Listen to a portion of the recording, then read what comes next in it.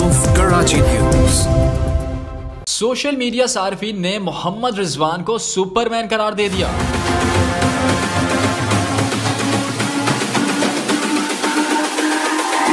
It's all about humanity.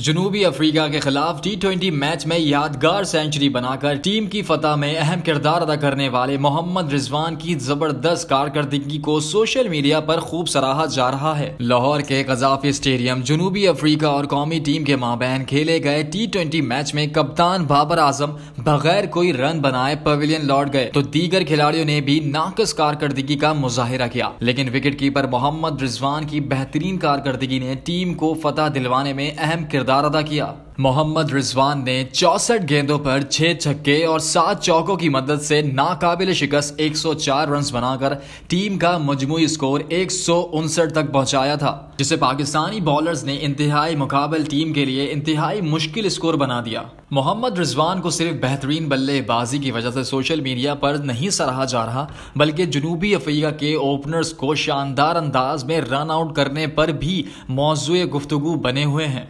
International cricket council ने मोहम्मद रिजवान की तस्वीर शेयर करते हुए इनकी टी ट्वेंटी मैच में बनाई गई पहली सेंचुरी को तारीखी सेंचुरी करार दे दिया गया, जबकि कुछ गैर मुल्की खबर रसा इदारों की जानब से मोहम्मद रिजवान को गेम चेंजर के लकब से नवाजा गया। साथ ही रिपोर्टर मोहम्मद मीसम के साथ Hammad Yousuf VO K news Karachi.